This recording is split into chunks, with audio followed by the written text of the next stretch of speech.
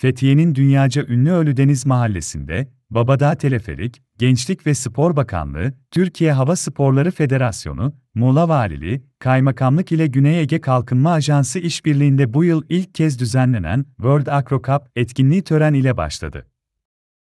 Babadağ 1700 metre pistinde gerçekleşen törene, Fethiye Protokolü'nün yanı sıra Gençlik ve Spor Bakanlığı, Türkiye Hava Sporları Federasyonu, Muğla Valiliği, Güney Ege Kalkınma Ajansı yetkilileri ve sporcular katıldı. Etkinliğe 49 ülkeden 420 sporcunun katılım yaptığı öğrenildi. Etkinlik boyunca wingsuit, basewamp, speedfly tandem yamaç paraşütü gösterisi yapılacak. Türkiye Akro Kupası ve World Acro Cup yarışlarının düzenleneceği etkinlik 2 Ekim'de sona erecek. Dünyanın en iyi akrobasi yapılan uçuş alanına sahip olmamıza rağmen e, dünya çapında Uluslararası Hava Sporları Federasyonu onayıyla yapılan bir dünya şampiyonası olmamıştı.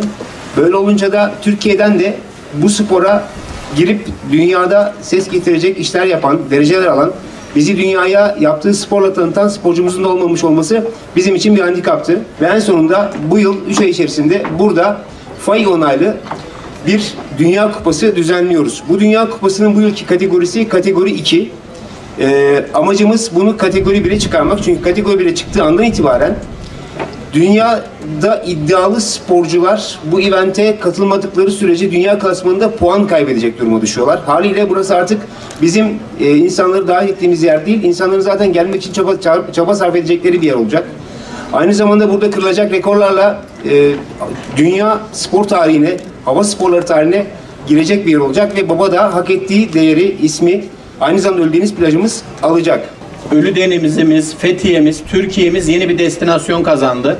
Pandemide çok vakit kaybettik. O kaybettiğimiz vakti bu gibi, bu gibi organizasyonlarla kazanmamız lazım. Özgürleşmek için Fethiye'yi seçtikleri için kendilerine çok teşekkür ediyorum. Seneye bir daha gelsinler.